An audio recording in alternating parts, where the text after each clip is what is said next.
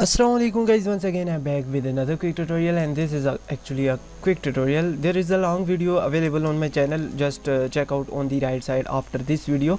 Anyways how you can remove the dependency error while uh, removing the Riot Vanguard or reinstalling the Riot Vanguard so for that you need to clear the VGC service. Uh, let me show you uh, the first service. Just click on the Windows icon then type here the services and you will get uh, the services list the just find the VGC is there available or not? And uh, if it's available that's mean you did not clear it uh, properly. So just type here the services hit enter.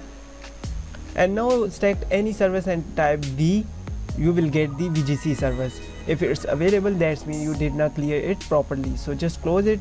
Now you need to remove it properly. The first thing is uh, just opening uh, this PC C drive Riot Vanguard games and just minimize this folder for the moment.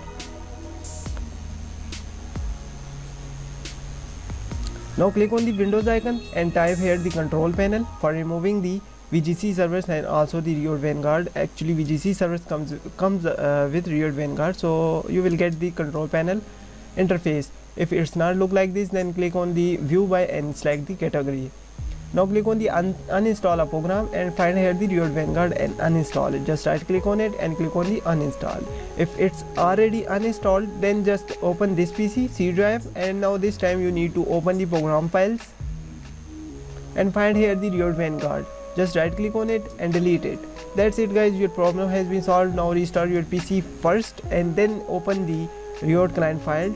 Uh, just open it your client and you will see the your installation your vanguard will uh, start you uh, start the installation process. I hope this video helpful for you but if still it's not working fine.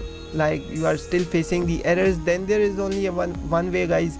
Uh, through the team viewer i can access your pc uh, with your permission and then i can solve your issue. Have a good day